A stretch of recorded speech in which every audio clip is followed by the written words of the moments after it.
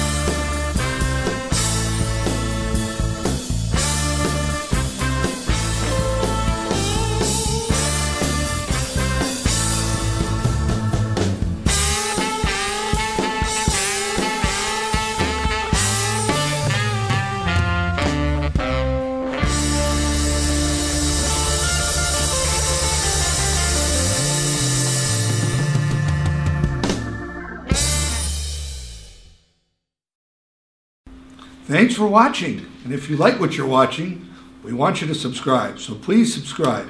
And if you want to see more videos, all you got to do is push that button right around here. Click something around here on, and you'll watch more of our videos. Thanks so much.